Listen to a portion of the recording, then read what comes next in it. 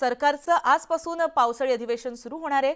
याकरिता राज्य सरकारची सर्व तयारी झाली असून राज्य सरकार विरोधी पक्षांना नेमकं मात देतील का? की विरोधी पक्ष राज्य सरकारवरती हवी होतील? यावरून आता राजकीय वर्तुळामध्ये चांगली चर्चा होऊ लागली आहे. कारण नुकताच लोकसभा निवडणुकीचा निकाल लागला आणि त्यात महाविकास आघाडीला मिळालेलं यश हे विरोधी पक्षात कमालीचाच उत्साह संचार करणारं ठरलंय. त्यामुळे यंदाच्या पावसाळी अधिवेशनामध्ये विरोधी पक्ष आक्रमक की एकत्रित दिसेल असा विश्वास विरोधी पक्षातील मुख्य नेत्यांना वाटतोय.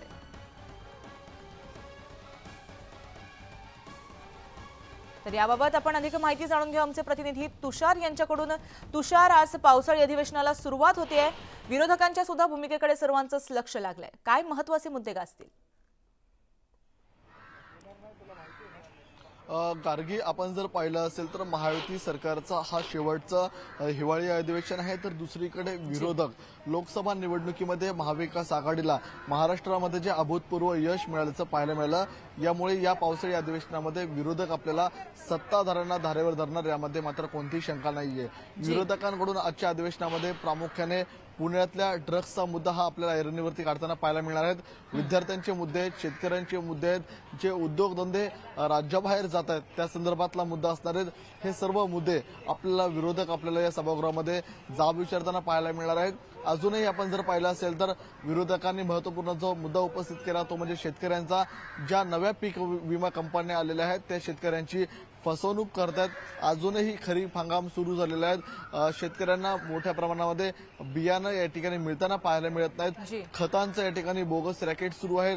त्याचप्रमाणे नीट संदर्भातला जो गोंधळ संपूर्ण देशभर पाहायला मिळाला त्याचं रॅकेट आपल्याला लातूरमध्ये असल्याचं पाहायला मिळतंय. त्यामुळे विद्यार्थ्यांच्या प्रश्नावर शेतकऱ्यांच्या प्रश्नावर उद्योगाच्या प्रश्नावर त्याचप्रमाणे जी नवी पिढी या ड्रग्सच्या विळख्यामध्ये भरटली जाते त्या संदर्भातला ड्रग्स माफियांचा प्रश्न असेल ह्या सर्व मुद्द्यावरती आपल्याला विरोधक सत्ताधाऱ्यांना धारेवर धरताना पाहायला मिळणार मिळणार आहेत. मात्र सत्ताधारी देखील त्यांची काय नेमकी रणनीती आखतात याकडे सर्वांचं लक्ष लागलेलं आहे.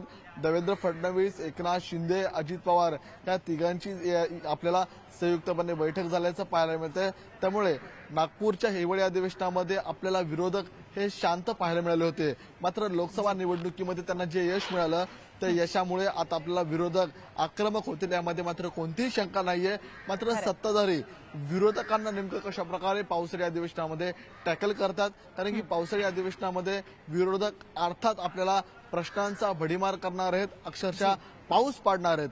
मात्र त्या प्रत्येक प्रश्नाला त्या प्रत्येक उत्तर देत असताना नेमकं सत्ताधारी कशा प्रकारे प्रत्युत्तर देतात याकडे सर्वांचं लक्ष लागलेलं आहे. मात्र पावसाळी अधिवेशनामध्ये शेतकऱ्यांचे कोणते प्रश्न सरकार सोडवतोय हे देखील पाहणं तितकंच महत्वाचं ठरणार आहे. नक्कीच सरकारच्या भूमिकेकडे आणि विरोधकांच्या भूमिकेकडे असं लक्ष आपलं राहणार आहे. अधिक अपडेट तुमच्याकडनं जाणून घेत राहू. धन्यवाद तुम्ही दिलेल्या माहितीसाठी.